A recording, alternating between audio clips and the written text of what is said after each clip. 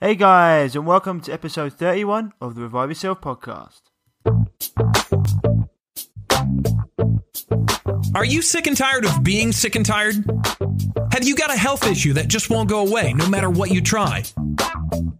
Then welcome to the Revive Yourself podcast, where we reveal the secrets to long lasting health by getting to the root cause of problems that no one else is talking about. So you can have more energy, clear skin, healthier hair, a leaner physique, more confidence, and most importantly, do the things you love and live the life you deserve. Here's your host, Ryan Martin. Hey guys, and welcome to episode 31. Um, just want to say, been getting some great feedback on the episodes as always. Last week's episode with Mark Lester, people are loving that and asking me where to find, or actually where to find, or they've been buying his stuff, which is great.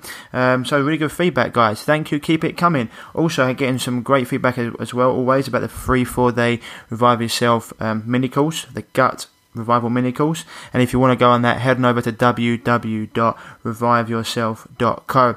Some exciting stuff coming up, guys, as well as um, going to be getting some really good health bundles for you on my site that you'll be able to buy. Putting together some different bundles for skin, for energy, for digestive health for anti-parasitic, um, for anti-parasitic um, values. One's that, that's going to be antiviral um, as well. So gonna, I'm going to put out as well, and also a healthy snack bundle because I think that's really important as well. When people want to on a Sunday maybe relax and have a healthy snack, it's really important. So I'm putting together a few bundles for you on my site.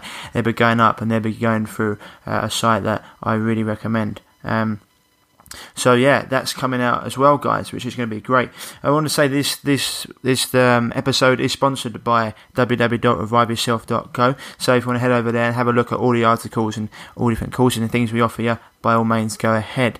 Um, but today's episode is with Ian Davies of the Injury Clinic in Berkshire. So really want to get Ian on because he comes from, um, he's a part of the fitness world, but he comes from a different perspective. He comes from getting people, uh, well, rejuvenating them if they've already been injured, rehabbing them, but also doing a lot of stuff that's preventative. But people that generally go to the gym, they get in better shape and they can get under the bar, and there's a lot of different gyms out there that people will go and, and they might look good, but then they get injured later on down the line because their because their structural alignment's wrong.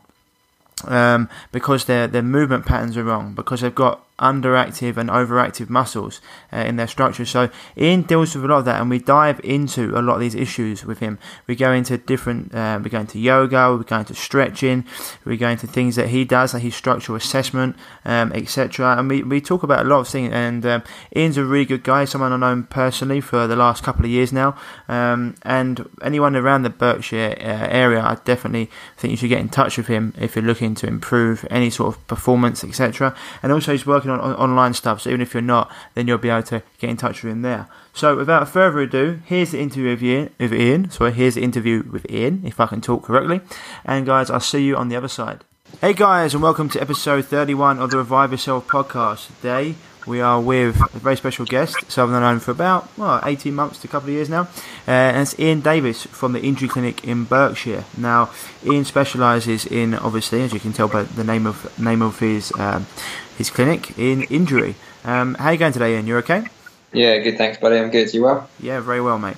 Um, so, Ian, mate, just to let everyone everyone know, um, obviously we, we talk to a lot of people on the show dealing with nutrition, a lot of different health health people, conditioning coaches, etc. Um, what got you into into injury prevention and dealing with people coming back from all, all sorts of different injuries? A uh, bit of a long story. Uh, so I started off um, wanting to become a personal trainer purely because uh, I was into football and I, I done quite well at football. Um, was getting uh, noticed by pro teams. I actually had a trial with Fulham's first team, um, and then I didn't get accepted into the team. Basically, I wasn't big enough. I wasn't strong enough, and uh, I needed to know how to get big and strong. And uh, so I wanted to learn how to train myself.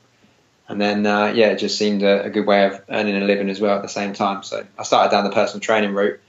Uh, and then uh, as I started getting more clients, we, we were doing training and it would be basic exercises that I'd be doing with people, but some people would be in pain from it and some wouldn't and I couldn't understand why that was, and I, I wanted to know.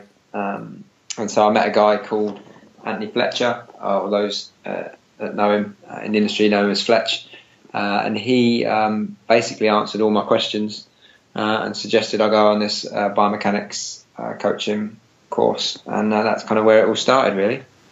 No, awesome. So really, it was such to, as, as always, like to scratch your own sort of itch. Yeah. Yeah. Absolutely. Yeah, and um, and so when you went on this course, what did what what was you learning that was different from the other PT courses that you've been on? Like what what was it? What were the standout things that you were like, right? Okay, now I can now I can see why people are getting so many injuries. Uh, so we started off with um, uh, the screening process, which is a screening process I still use uh, today. Um, we're essentially screening uh, for muscle spasm, any joint mobility issues, uh, and uh, any nerve tension. Um, and this goes right throughout the body. The key pillars are shoulder, spine, pelvis, knees, and feet. Uh, so we do a full body screening, and we're just basically figuring out what is and isn't working.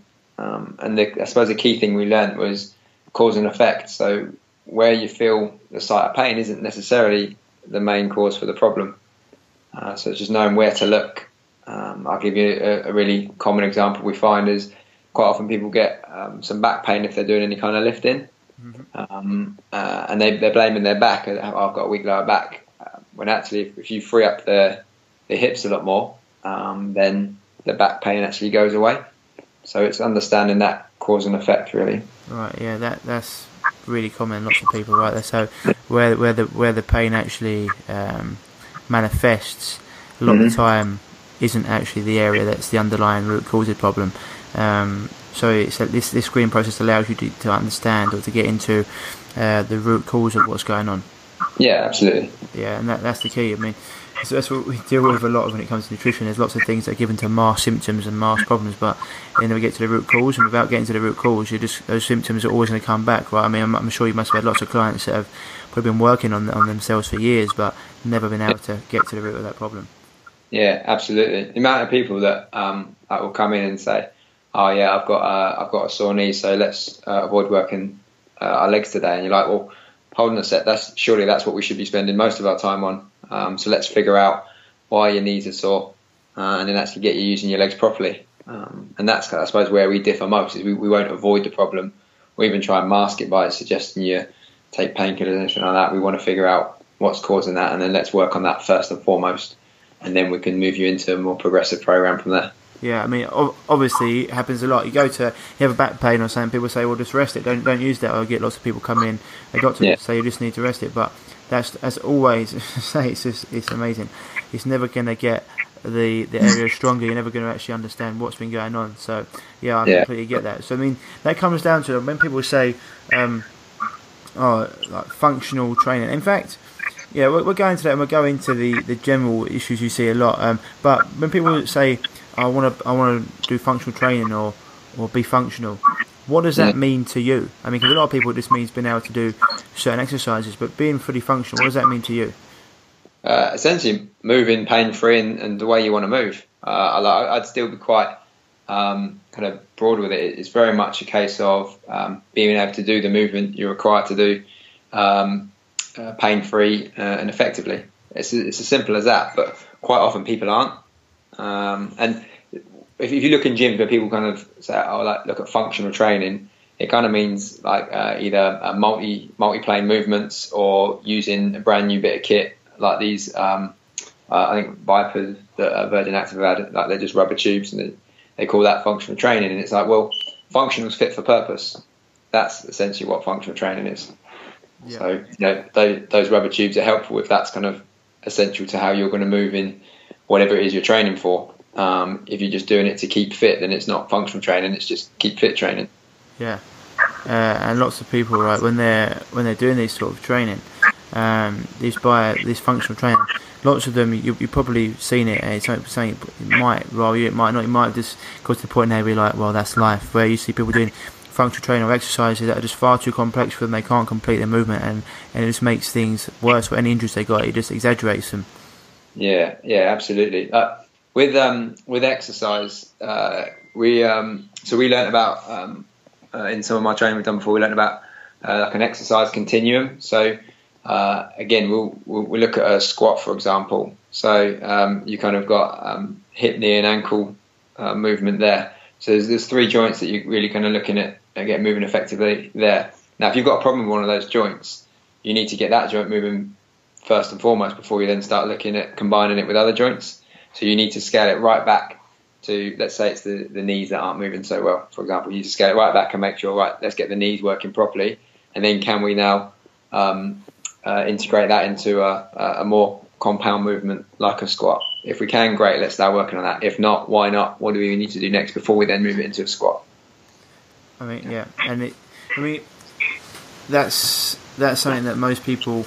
It's because it takes. most people see what you're saying there because you're like an actual injury clinic, so people come to you and they've actually got injuries. But a lot of people go to the gym because they just want to look better, right? Um, and so a lot of this goes uh, by the wayside. People don't actually spend time on it, and then you either get people that gone there to look better, but then they get injured and then go backwards because they have to spend time out trying to get over these uh, over the injuries they've come to. So, I mean, this really should be um, the basis for for any sort of program, right? To work on people's weaknesses because otherwise they're just going to come up later on down down the line. and You're going to make them worse. Yeah, absolutely, and you can get a really effective program that's challenging enough um, that um, kind of works on these weaknesses as well. You, you just need to spend um, like averagely we say a couple of weeks where we just spend uh, spend time working on these areas, getting people moving uh, effectively, and, and, quite often it's just figuring out what isn't moving. So let's encourage that to move more. Um, combination of manipulation and stretching, um, and then it's then integrating that into some basic isolated strength work initially, and then we move that into more integrated movements such as uh, compound movements like squats, lunges, deadlifts, etc. Um, you know, it doesn't take that long to move people from that basic work right into the the integrated work, and then you're just looking at um, like um, like a, what you probably consider as a standard um, personal training is teaching people how to uh, lift properly and, and, work hard enough to achieve their goals. It, it's just stepping back that little bit first to to make sure everything's working the way it should do, and it, it don't take that long. No, it's no. just but it's, it's, it's a thing that, and I see most, you see lots of people doing deadlifts, squats, etc., and they're just all over the place. Their body is completely, and you're just seeing things that are, you just know that uh, sooner or later, um, the heavier they go, the more intense they go with their workout, etc. Something, something's going to give. Um, so for everyone out there, going through this and getting this sort of screening done is, is really essential because generally, I mean, if I said to you, the people that, that come and see you, they put have, have a lot of them, unless they've gone into like a car crash recently or something. Have a lot of them had their pain for a while? I mean, do they think it's normal for them to have the pain? They almost made it sort of like a, well, yeah, this is just what I've got. I've just got back pain or I've just got knee pain. Yeah, people just put it down to old age, um, and it's like, well, you know, I had um, uh, there's a 16 year old girl that came in who, um, who had back pain that you'd probably associate with a 40 year old. It's got nothing to do with age. It's just very much in terms of how, how they're moving um, and how their body's stacked up.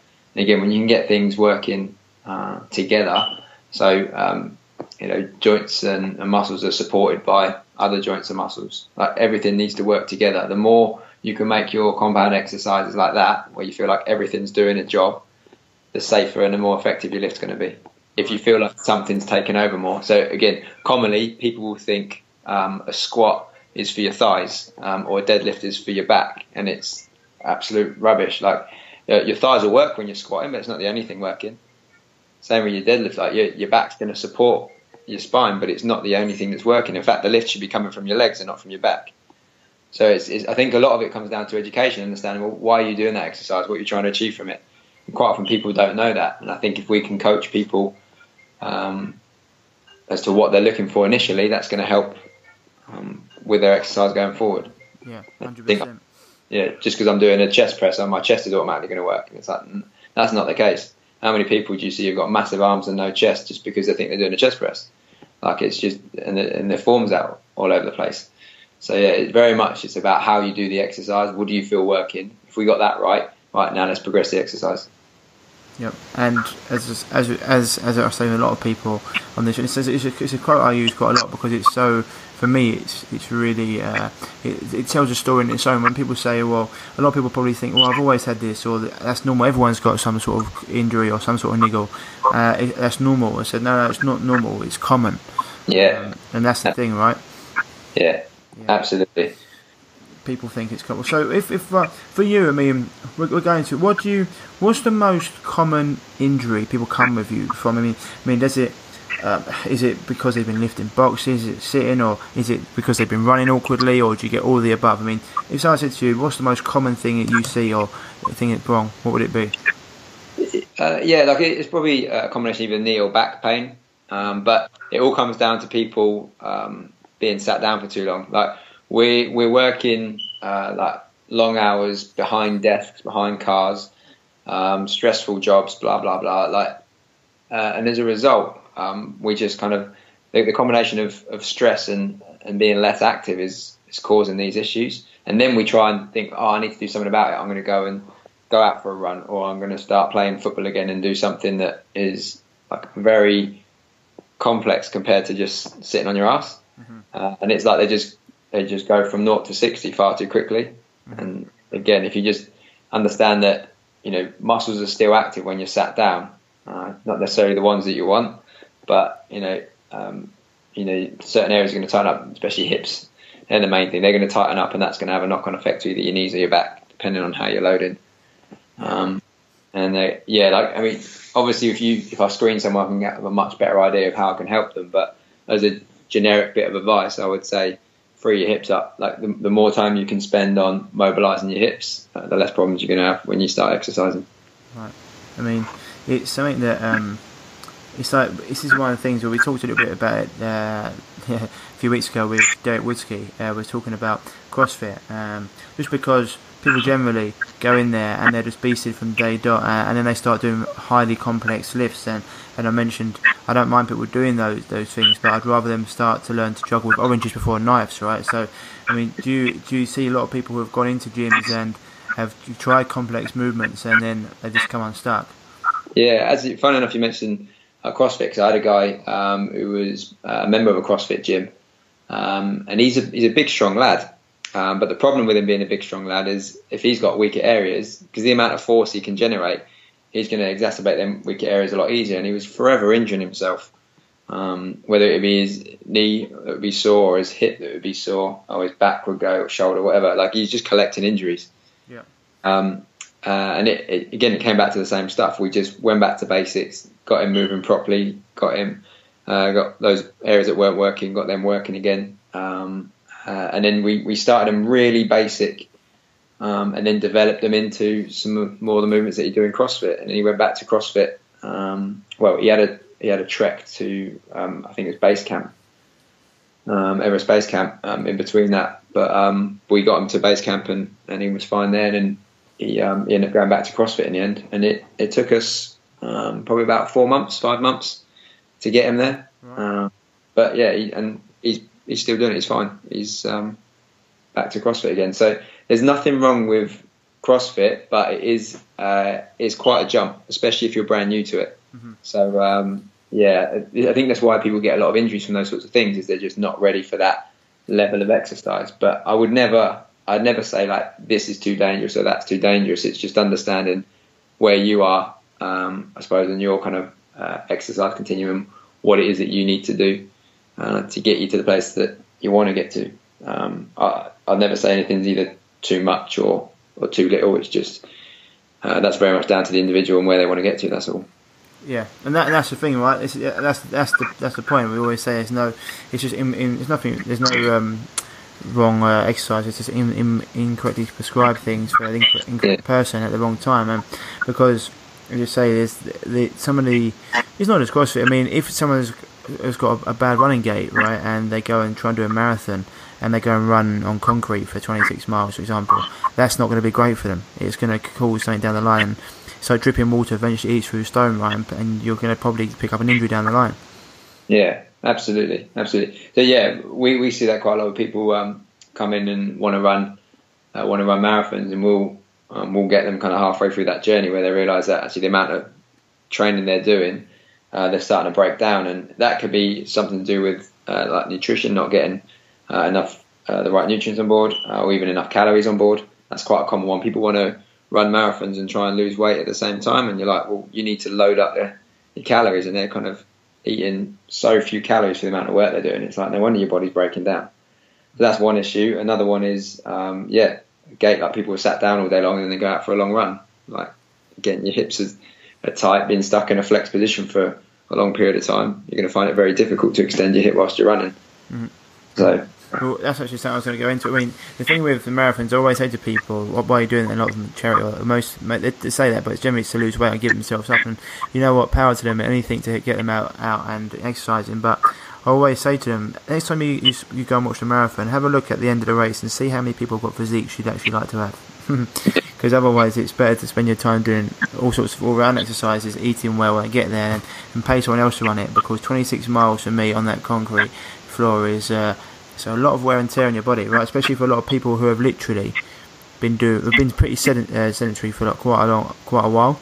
Um, it's just like a very long way to run on a very hard ground, um, and people do generally grit their teeth and get through it. But that's not how exercise should be, right? Exercise should be fun and, and not well, not always easy, but but uh, not to the point of pain. It shouldn't be painful in that terms of uh, muscles and stuff. Obviously, you're you're gonna get tired and it's gonna be challenging, but not painful. You know what I mean? Yeah, I mean, we've, we've got a, guy who's well into his running. Like, if that's something that you love to do and um, and you love the challenge of running long distances, so we got a guy. Uh, he just attempted a 100 mile race. He got uh, 70 miles in and um, and then realised that he wasn't going to make it, so he stopped after 70 miles. But uh, a few months before that, he actually entered a 100k race, about 60 miles, uh, and he won it in like nine hours. Um, and he and he got back. Apart from having tired legs for the next few days, um, he didn't have a single blister.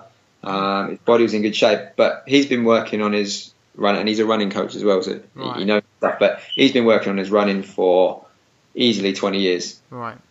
You know, it's not something that just happens overnight, and you know, running's not bad for you. Running badly is bad for you. Yeah. Uh, and that's like the new, it's like you see people in the New Year's Eve, the New Year's Eve, sorry, the New Year's Day sort of resolutions come out, and you see people hitting the pavements, and I'm always like a little bit like, look, I'm, I'm so happy they're out doing stuff. In one hand, I'm like, that's brilliant. Yeah. On the other hand, I'm like, ah. It, it, yeah. it, it, could just I don't want people to get injured so it's just like there's a lot of uh, of ways or better ways to go about starting this you know yeah I think I think that's the thing if, if you enjoy running then learn how to run properly and, and go and do it if you're uh, if you just want to lose a bit of weight uh, and you want to get fit and you're going out running, yeah, I mean there are definitely other alternatives you can you can look at. Like I would certainly start if you certainly if you're new to exercise, look at your lower impact options first and build up to higher impact if that is something that you want to go into later on. But jumping straight from the couch to high impact probably ain't the smartest move you'll ever make. No. And it's also even I mean this is the thing. It's even if you go run on grass, for example, you see like sprinters, so like season sprinters, they won't they won't go straight on the hard indoor track or on the outdoor track. They they spend time in their trainers uh, on the grass, and then they and then they're moving to like the soft bits of the track, and then they're going to the hard bit of the track because they know it's all accumulation. Right, their body's not ready for it. Otherwise, they will put a muscle or they will strain a ligament or do do something. You know. Um, so even this is not just for people. This is like this is, comes from the top top people doing this sort of stuff. Um, it, it's um, unfortunately people just go out and run. They don't know much about it. That's why I just want to get it out there. Obviously, there's nothing wrong with running, and I want people to go and exercise much more. than I want them to sit on the couch, but I just want them not to go and do it and then get injured and, and be like, oh, now I'm out for four months and now I don't yeah. know what to do. You know. Absolutely, it's definitely worth kind of taking that time to understand how you're moving first and foremost and then what can you do to improve your movement? If it is running, how can I run safely and effectively? If it's lifting, again, lifting's not bad for you, but lifting badly is bad for you. So it's understanding how can I lift safely and effectively, or you know whatever you decide to do. If it's going to play sport, what movements do I need to do to be able to go back and, and play sport again? Um, you know, because you've been sat on your ass for like five, ten years because um, work or whatever situation hasn't allowed you to exercise uh, you, you, almost need to treat it as, as, though you're starting again from scratch and then just build up gradually. And then you'll be able to move pain free and it won't take you as long as you think but you just got to do that foundation work first. No mate I 100% agree. And you mentioned that I was going to mention this um, I mean you got cabbies you got people in offices all day who sit all day and um, etc mm. um, most people unless they're labouring they're, they're, they're, quiet they're sitting all day and even now you've got people who have got standing desk that's probably a standing they're probably standing too much I mean you need to find the right balance right because standing too much is better for you sitting down too much is better for you for people that are sitting down too much um, mm-hmm. what's the most common problem and what, and what and what have they got to do or what should they be doing just to alleviate that is that hips again yeah so all their weight's going through their hips um, especially uh, quite often they'll be um, sitting on seats that are too low for them. So all their weight will be going through their hips. Their legs are doing nothing at all. Um, and then when it comes to standing up and moving around again, they're so used to loading through their hips. That's what they carry on doing. Um, what they need to do is just get used to loading through their legs again. Like the, the first bit of advice I'd give someone would be to get yourself a higher seat. Uh, I mean, if you listen to this now, just um, just try it. You'd probably be sat on a sofa or something like that. Go and sit with your butt on the um, on the edge of kind of like a windowsill or something like that, or the edge of a table where you're a lot higher up. And you'll notice it's very difficult for you to put your weight through your hips. You'll end up having more weight through your feet. So if you can get yourself a higher chair, that will certainly help out. But ultimately, we're designed to move. So um, you know, whether you're stood at a desk, sat down um, at a desk, or behind a car or whatever, like if you're not moving, it's going to be a problem. So get up and move around. Try and be as active as you can. Stretch muscles that feel tight, work muscles that feel weak, uh, and that'll be the the best thing you can do. Is there is there like a stretch you've got for the hips, or is it literally just making sure you've got weight going through them? Uh, I mean, first of all, is the weight going through the legs? It's the key bit. Right. Uh, yeah, you can absolutely stretch your, your hips. Um, there are a lot of kind of different glute stretches that are, that will be helpful. Um, uh, lots of different hip flexor stretches that will be helpful. Whichever you're looking to do, uh, same with hamstring stretches, thigh stretches, all of those. Whatever you're looking to do, you want to make sure that you're um, engaging. Uh, this is where it kind of gets a bit complicated. So, um, if you look at uh, like a, a, hamstring muscle, for example, um, it will act as a um, a hip extensor and a knee flexor. Um, and then the opposite, if you if you look at your thigh muscle, specifically your rec fem, so it's a knee extensor and a hip flexor. Mm-hmm. It's the flexors that end up getting tight. So you want to try and stretch the flexor and use the extensor. So if I give an example of that, so if you imagine that you're um, got one knee on the floor and one foot in front of you, kind of like a lunge position, but you're resting the knee on the floor. Yep. So we're going to be stretching that back leg. So if you push your foot into the floor, or the back leg, yeah, and then clench your butt and push your hips through, mm-hmm. you'll be engaging the bottom part of your thigh, which is going to allow you to stretch the top part of your thigh, and that'll be the bit that needs stretching. Okay. If you just pull your heel towards your bum, like most people do, you're just going to be stretching around by your knee, and you're not actually going to be affecting. Right, I got you. The tight area so much. So that's kind of um, an example, and it's just doing the same with the hamstring. So if you lay on your back, hold the back of your leg, um, push your leg into your hand so you feel your butt working, and then try and straighten your knee.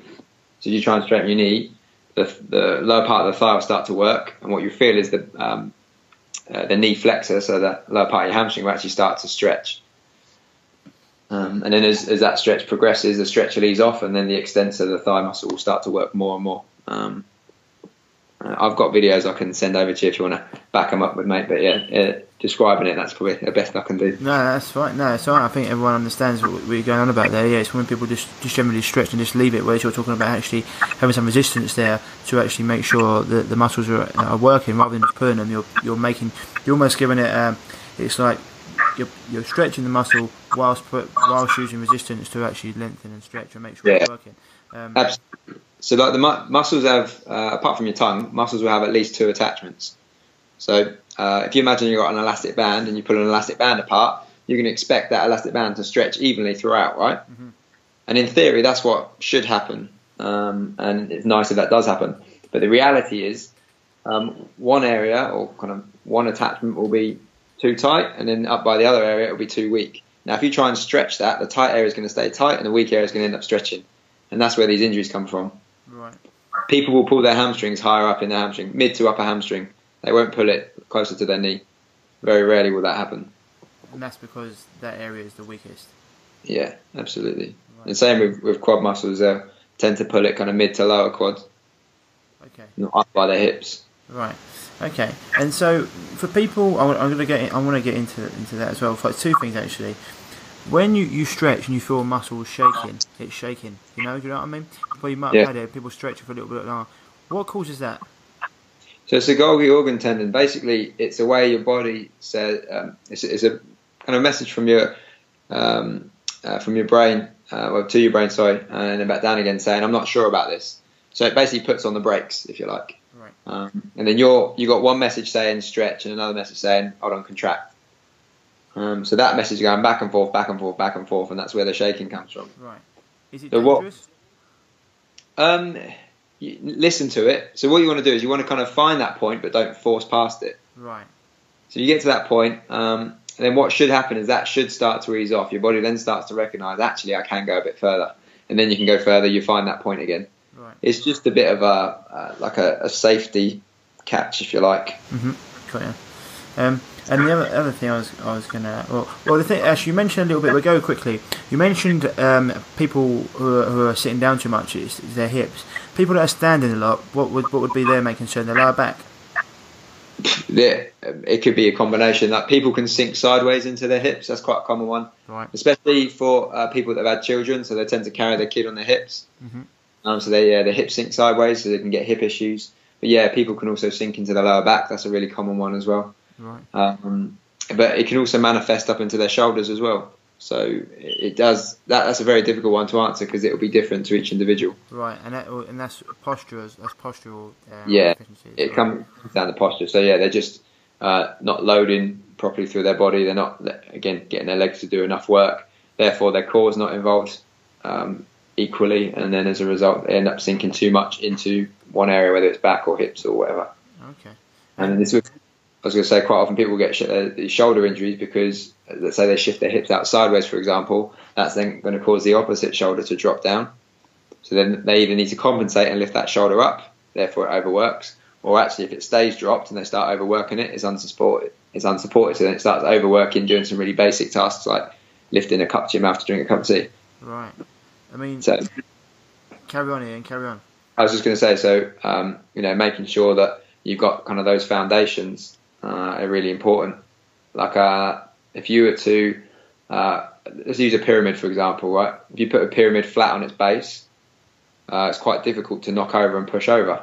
If you put a pyramid on its tip, it falls over straight away because the foundations are very weak compared to the to what's going on above. Right, I've got you. And this, I mean, this must be quite common as well when you see people coming back from injuries, etc., where they've maybe injured one leg uh, and they come back and then they do the other leg because they've been overcompensating by resting on the other ligament. Is that common? Yeah. Yeah, so uh, if we take an ACL injury, for example, so people coming back from ACL injuries, um, uh, and because they, well, it's, it's starting to change now, but uh, commonly what they do is they take a bit of your hamstring and use that as your ACL. So now you you've weakened the hamstring, and it's very common for people to get hamstring injuries. Um, that's kind of one part of the reason. The other part is because they're sat down there, they're laid up and they're rested. They use the other leg a lot, and then when they go to use this leg, uh, again because they haven't been using um, the leg so much, they've been loading through it. Uh, the hips become a lot weaker, so hamstrings start taking over, and then they overwork, and that's when they start to either go into spasm or or tear just because they've been overworking. Right. Yeah, if you're looking at the standing leg, again, they'll shift their hips over too far, so they're not loading properly through their leg. Um, and yeah, they can get injuries from that. But and again, that can manifest itself into uh, a knee issue, a muscle issue, a hip issue, back issue. It's, just Well, depends on how Yeah. load. I mean, being an Arsenal fan, I know that people go away and get injured, and they come back, and the, the three to six, the three to six weeks turns into eight months because they come back and they get another injury, another injury, another injury. Um, Yeah. It just seems. I mean, in my opinion, obviously they're not doing a lot, a lot of things right. They're not doing a lot of the exercises right. They're probably out of alignment, and their, their diet's going to be terrible, in my opinion. But it seems that they don't seem to get to the root cause of these issues, and it, and and that's the problem. Yeah, I mean, funny you mention um, our football there because um, like football's my sport. That's um, something I've always been interested in. Um, and when you look at the, the conditioning um, uh, of like footballers, I still think football's uh, a bit behind. Um, I was looking at um, a circuit training session that was going on, um, and the sorts of exercises they're getting them doing is just not relevant to football. The weights weren't um, effective enough. It's like it, it was just a bit kind of uh, behind the times, probably the right way to describe it. It was, um, and, and even in semi-professional football, like you've got managers that will just get you to, to run laps around pitches, or um, uh, or yeah, just kind of like beat you up in kind of circuit training. It's like none of that is relevant to to the sport. Yeah. Um, I mean, So yeah, it's hard. It's I mean, ninety minutes on a football pitch. Uh, I know I haven't played both rugby and, and football. Rugby's tough Yeah. to make collisions and for wrestling for the ball, but the balls are out of play quite a lot. In football, the ball's in play the whole time, running, jumping, moving, running quickly. Ninety minutes of football is a hard, hard graft, especially if you're playing in, uh, in as a midfielder or, or striker, run up and down. Uh, wing backs, you know, the centre backs may get a little bit less less uh, up and down the pitch, but it's it's a hard ninety minutes. It's not easy. Yeah, I- I think this comes down to um, uh, like understanding the game like as well and understanding your position. So it's knowing when you can rest and, and you can't rest. Like for example, for a midfielder, knowing when to join your, your teammates going forward and knowing when to sit back and let someone else go forward. Um, like if you're playing out wide uh, and you're uh, say you're a fullback, can your winger cover for you if you overlap him, or can your centre half come around? Can your midfielder tuck in? Those sorts of things, and that comes down to uh, like the manager and the, the team kind of organising for those eventualities. Like you know, if, if you're uh, got a quite a demanding um, uh, kind of, I suppose, game uh, as a manager, uh, you have to attribute for like your players getting tired. Like it's it's going to happen. Ninety minutes is a long time to run hard, Yeah, that's, is, yeah. and that's before you take in the uh, the physical side of the game. So you know, how can we compensate that? How can we um, kind of get a, a centre half to cover or midfield to cover, or however they want to do it, but they need to um, kind of uh, learn to deal with that. So a lot of it, you'll see, you hear, hear about people of saying, "Oh, this player's experienced. He knows. He's got that know-how." And like, I suppose the way I understand that, um, certainly from where I'm playing, is they know what. Um, yeah, they know what to do. They know when to rest. They know when to go. They know who to talk to to, to bring him in and cover for him. And when, when you saw this conditioning session going on, what Yeah. what were the things um, that you'd have changed? What were they doing, and what would you have been like? You know what, you need to be doing this, this, this. Well, um, so they, they had their players, so they're working on like deadlifts, but it was like um, I think the weight was something like 20, 20 kilo deadlift. Like for for a Premier League footballer, that's like that ain't good enough. Um, and like you could see, it was easy.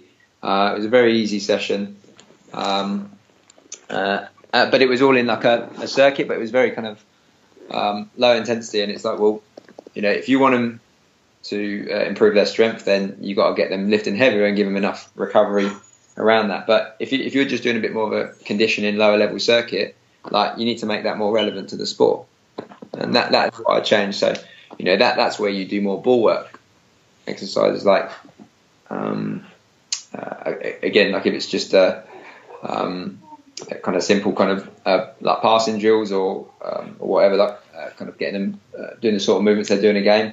Uh, I would make them more position specific. So centre halves have a different, completely different role and have a completely different um, game physically compared to what a midfielder would have, compared to what a winger would have, compared to what a centre forward would have. You know, so you'd, you'd make it position um, specific. Yeah. Uh, and that's what I'd change. Um, uh, and yeah, like as I said, with kind of these strength and conditioning exercises, you know, it's the, the clues in the title. It's strength and conditioning. Like having low level exercises for these guys is just, you know, you might as well not do it. Yeah, exactly. I know. That's- I know what you mean. Yeah, that, that's what I change. Like the, the types of exercises they were doing, like everyone will have their reasons. You, you can, like you can get ten trainers and you'll have ten different workouts, uh, and each one will be um, just as fine as the next one. It's just being able to justify why you're doing it. But uh, in my opinion, having kind of that low level um, strength and conditioning is like you've either got to do one or like either strengthen, do your strength and conditioning work and work at a high intensity and, have your recovery afterwards, or if it's more of a um, kind of lower level uh, conditioning session, make it sport specific. Yeah. Like a 20 kilo deadlifts. Like, I mean, we've got women that are lifting twice as much as that, even three times as much as that in our in our gym, and they're 50 plus. Like it's like it's not enough. Like for a Premier League footballer, that's not enough. No, boxing and uh, it's just, and they're all very lean because they play 90 minutes football and everyone thinks that's great. But I can tell, I was talking to Warren Williams on the podcast before and he was talking about how um, the, the, these guys, uh, a lot of the time, they're just so. I mean, it's the same as boxing. Boxing football just behind the times. Um, and a lot of the coaches in, in, in these places aren't the best. They're just the ones they can get for the least money. Uh, and this is what goes on. But fo- boxing football in particular, behind the times, it's like we've done it this way for forever.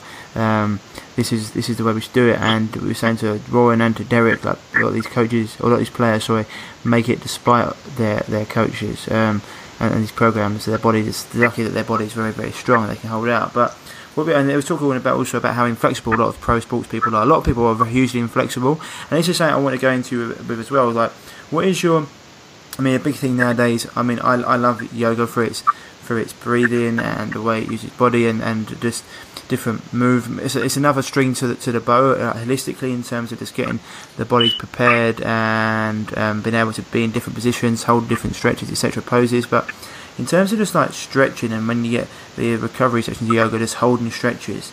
Um, what do you what do you think of these in terms of being able to lengthen muscles um, uh, and ligaments? Are, is it good or is there some damage that could be done there? Well, so I mean, with regards to like the ligament side of things, like your ligaments are there to keep um, kind of bone connected to bone. It, it's the muscle activity is the most important bit. Okay. Um, but yeah, like if you're so let's say you're holding a, a yoga pose, like downward facing dogs are a very common and well known one. Um, you know, you want to be making sure that the muscles are holding on to that that position. You know, your upper back should be working to help support your arms in that position. Your hamstrings should be uh, engaged. Your hips should be nice and high.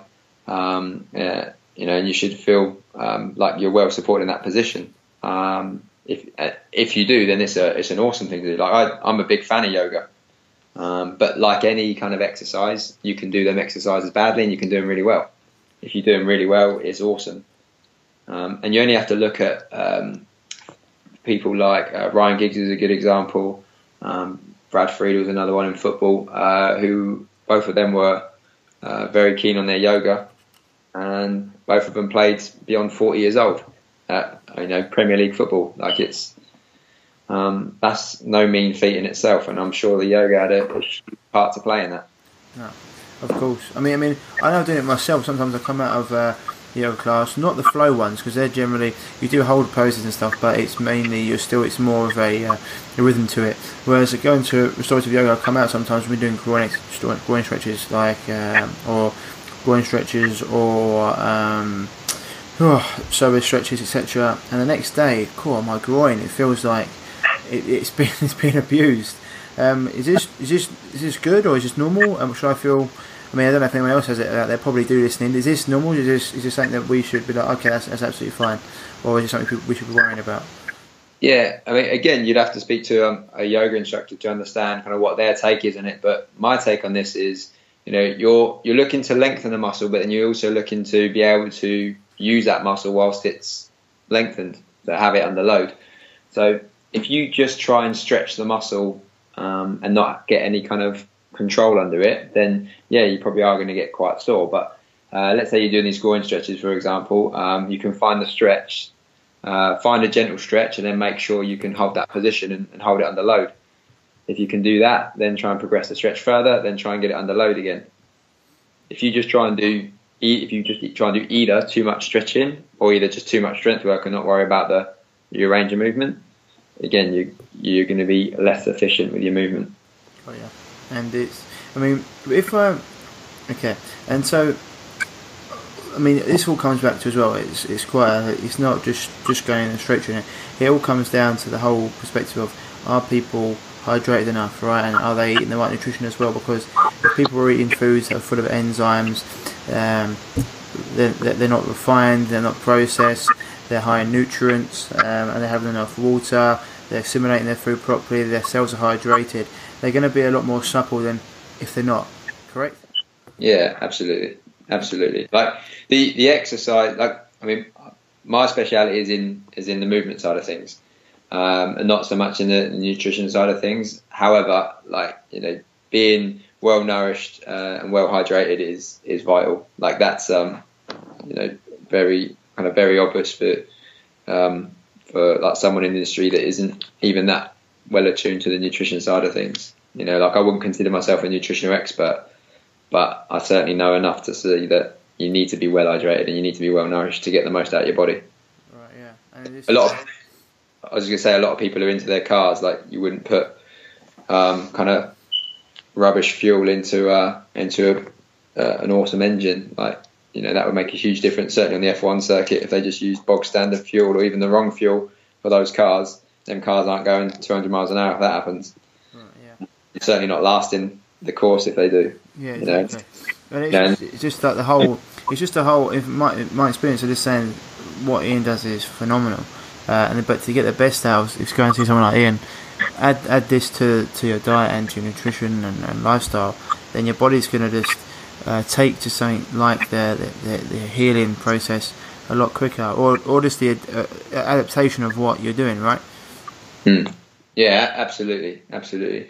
You know, we we help people um, uh, kind of not just with the kind of getting pain free, but actually with the uh, the fitness side of things as well. Um, and those that kind of take on board our advice with drinking more water, um, you know, eating uh, like a more balanced diet, trying to reduce how much processed food they're having, like real kind of basic advice. Mm-hmm. You know, the results are so much better. People get um, end up moving pain free a lot quicker, or they end up seeing results physically a lot quicker, purely because you know they're they're looking after themselves inside and outside. Yep. I mean, you don't realise just if you're constantly inflamed, and so for example, if you're eating foods that are um, gluten weak, for example, glyphosate, things like that, they can completely dis- disrupt your digestive tract, um, cause inflammation of the gut lining, the wall. That then can turn off your abdominal line, abdominal muscle, especially transverse abdominals, which means then your back has to put in more effort, etc., etc. And all of a sudden, they've got a back issue that's all linked to their digestive system. Um, so it goes round and round in circles now. So I can hundred percent uh, know where you're coming from there. In and if if I was to say to you, um, for for the for the majority of people, or for or if I said to you, tell you what, you've got one yeah one thing you'd say to everyone out there to, to, to, to do and make sure they do. Uh, that's going to help them when it comes to staying away from injury, um, or even yeah, go go your top one thing. What would it be? Uh, certainly from uh, from my line of work, it'd be move more. It, it is as simple as, as that. Like so many people will um, have high stress jobs, uh, they're not moving so much, and then the first thing they do is they'll come home and sit down again. And it's like you just got to get moving, and you'll feel so much better when you do start moving. Um, uh, and you know, if you can get the advice um, of a of a professional, of a, a, coach that can that can guide you, then you know you're going to be able to help yourself uh, a lot quicker. But um, if you can't, just start moving more and, um, and see how you go. Is that uh, if I said to you your biggest frustration? Would that would that be it as well, or what would it be something different? Your biggest frustration you see within this? It's, the biggest frustration is people actually not taking advice. Like they come to you for advice, um, and then they don't follow up with it. Um, you know, and it, I suppose it, might actually be interesting uh, to speak to uh, someone who understands um, psychology a lot more. Um, I don't know if you if you have or if you've got someone lined up on that side of things, but it would be interesting to understand why people would um, go to a professional for advice um, yet not take it.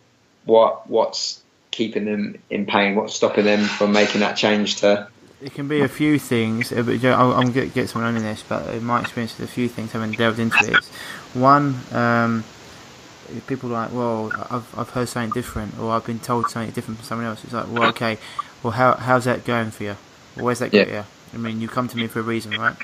Yeah, uh, absolutely. And two, it can be some sometimes people um, have identified with their injury and their and their and their affliction so much that it's become part of them, and they use it for any reason they can't do something like well, I can't do that, I've got this injury, or I can't, I mean, I would, but I've got this, or I can't go and play sport because of this, and, and it becomes it becomes something that, that they hold on to as, as a regional excuse that they can use to get out of lots of different things, and it just becomes part of their life. Does that make sense? Yeah, absolutely. Yeah. I mean, that's the, the big thing, isn't it? The, the goal has to be so much bigger than, um, or so much more appealing, yeah, than, than what they're currently experiencing right now. Like, and you need that reason to yeah to come and see us and you know if it's not strong enough then yeah you probably won't make a change I guess yeah if your dream is not bigger than your nightmare then you'll stay in your nightmare you need to find reasons why because some people are like well what, what, what, what makes you happy like, I don't know uh, and it's like well until we find that um, it's going to be a struggle. Well, then we say, in your nightmare, what's the thing that frustrates you the most? Okay, we'll get out of that because otherwise, um, yeah, people, and also also to do with. I'm going to do a podcast on this a little bit myself, all about the reptile, um, mammalian, and um, human brain, different parts of your brain as well. And when you're in your human brain, you've got lots of thoughts going on, what you want to achieve, etc. But most of the time, people are so busy trying to um, trying to um, how do, what, what's the word I'm looking for? Trying to make sure that their their reptile and mammalian brains are happy that they never get into their human brain. It's a bit of a turn. It's like the reptile brain is all about fight, flight, feeding themselves. It's like basic yeah. needs. Mammalian brain is all about your um, it's all about your um, the hierarchy. Like one of the worst things you can do is be separated from the group because back in the day the group would um, be um, your survival. If you if you got left from the herd, then you be yeah. on your own and you, and you, get killed. So first of all, those two things, and most people are so too worried about those two things that they never get to the point of the human brain, which is where so that's, our youngest brain, but it's the point where we can start dreaming and start believing and going forward. Um, because people, so it's a podcast I'm going to do. I'm going to go into it myself. I'm also going to get someone on it um, who's a, who's a complete expert in it. But a lot of reading around this, and it comes back to it um, a lot of the times. People are so busy um, and yeah, and it's it's a lot of different reasons for it. So that's actually a great thing you, you, you brought up. The biggest frustration people don't take advice. Ian, mm. we've kept you for like almost 50 minutes now. If I say any last thoughts or anything else you'd like to share with it, with the people, um, the floor's yours. Uh, I suppose the, the, the biggest thing, um, I guess, uh, like I, I, know I mentioned about kind of just encouraging people to move more, but um, you know, get help. Get, get uh, if you if you're stuck with somewhere, um, just get the help that you need. Um, you know, if you look at things like, um, you know, if you get a burst, um, a burst tap or water main or something at home, and uh, and your kitchen starts flooding, you know, you're going to call a plumber out. You're going to call someone that can deal with that straight away. If your house catches fire, you're going to call the fire brigade. Right? Just do the same with your with your health and, and fitness. Find a professional that can help you with what you want and, and take their advice. That's kind of all I really want to share, really. Yeah, no, awesome, hundred percent. People, people then wonder why, and they, they, they yeah, hundred percent. I get what you mean. People always go to the mechanic for their car, etc. But then when it comes down, they try and try things and wonder why it doesn't uh, doesn't work, and then they're left scratching their head. And especially nowadays, when there's so much information out there, it's information overload. Um, they don't know which way to turn. Ian, yeah. it's been um, great having you on, and guys out there, the if any of you guys around Berkshire, I mean, do you, do you work people online as well, Ian? Uh, yeah, it's, it's, something I'm actually trialing at the moment. So it's not a service we are uh, currently offering, but it's a service that is, uh, yeah, work in progress. And the, uh, the, best the best place to find you if people want to contact you, that would be at www.injuryclinicberkshire.com. Yeah, that's correct. Uh, we also have a our fitness um, website as well. So you've got uh, www.fitnessclinicberkshire.com as well. So yeah, check out those two sites and um, you'll be able to get hold of us. And you got your contact information on them, yep? Both of them, yeah. Perfect. Ian, been an absolute pleasure talking to you, mate. Um, it's, it's been uh, no, no worries, and it's something that we want people to get into because injury prevention, um, and and I mean also injury prevention, not just cure, is huge as well. You know, people can start doing things right before, um, and hopefully they they won't need to come back from an injury. Absolutely. Awesome, mate. Thanks for being on the show, and I'll speak to you later. Ian. Cheers, buddy. Take care, mate. So, guys, that was episode 31 with Ian Davies. Hope you enjoyed that. We covered a lot again. Always try and get quite a lot covered so you can hit it from all different angles because I know that our audience is wide and varied and a few of you might be thinking different things. So I try to come at it from different angles, whether it be sport, whether it just be people that are inflexible, etc. And we went through a lot there screening process, uh, as we said before, yoga, stretching um, like people that are inactive, people that are overactive, with sitting down a lot, standing up a lot. So we covered a lot. So that's a really good interview. I really hope that you enjoyed it because uh, talking to Ian's a good guy. And as I said before, you can find him at www.injuryclinicberkshire.com. Um, also, guys, just want to say any any of you got any issues that you need sorting out, you can head on over to www.reviveyourself.co and you can join our free four day Total Gut Revival course um, that will let you know any health issues you've got that will help you with, guys. Or if you'd like to have a chat with me and a little consult and you'd like to just get to the root of it and start moving forward ASAP, then once again, head over to www.reviveyourself.co and you can contact me on there or you can send me a message at ryan at reviveyourself.co. Uh, also, guys, follow us on Instagram at uh, revive underscore yourself and on Facebook at Facebook forward slash Revive Natural Health. Um, let me just check that right Revive. I'm pretty sure I have. Yeah, Revive underscore yourself. Um, and also try and find me if you want on my uh, on my personal page on Facebook because I always give out lots of free videos and free information. And if you join our email list as well, you'll get lots of free information They always send stuff out, so always try and get as much information out for free as possible. Because even, even when I do my seminars, I go through gut health and I go through toxic food and and carcinogens, and we go for epigenetics. And there's people looking at me.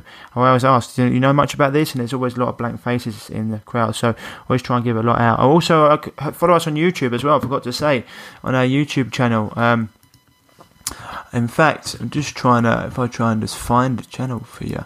Um, at the moment, if you just type in Revive Yourself with Ryan Martin on YouTube, you'll find our channel. Lots of videos there for you. All the interviews are up there as well as a lot of um, free information I give myself. So, anyway, guys, that's it for today. That's episode 31. I'll see you next week. I'll see you on the other side. As always, keep happy, keep healthy, and I'll speak to you soon. Bye bye.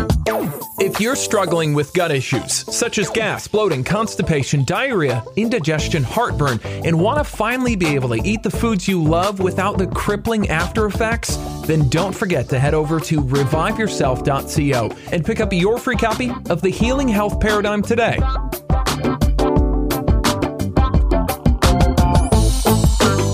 Yeah.